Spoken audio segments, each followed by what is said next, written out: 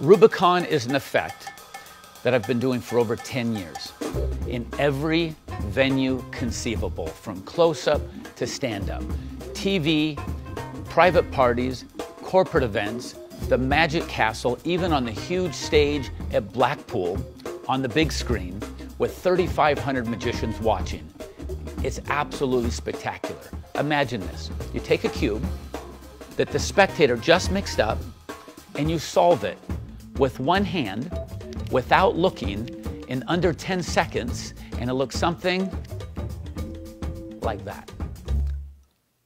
And it's easy to do. You don't even have to know how to solve a cube. And that's just the beginning, that's the first phase. Wait until you see what else you can do.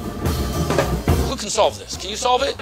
Mix it up, mix it up. I'm gonna put this behind my back, you put yours behind your back, and mix away. There's 43 quintillion. That's a million times a million. Possible pattern arrangements. It's only one solution. But what if one of your sides match one of my sides?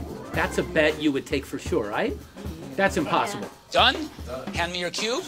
Now watch this. Remember the bet. Would you bet 10 bucks on this, Gino? Yes, I heard a yes. Oh, look what I found.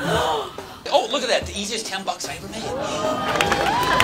Wait. Did someone say double or nothing? Oh, look what I found. Oh. So you need to see a second side over there? Is that what we're waiting? Maybe a third side. Is that what we're going for over there?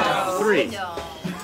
Four. Okay, as long as you're begging, there's five sides, ladies and gentlemen. Can I hear a five? Can I get a five? That's right, all six for your entertainment pleasure, and that's what you call a cube hustler. Thank you very much. I'm gonna solve this in world record time. In fact, you know, I'll do it with that. I'll do it behind the back. I just need someone to tell me when to go. Go, go. Close, close. I can only tell by your response.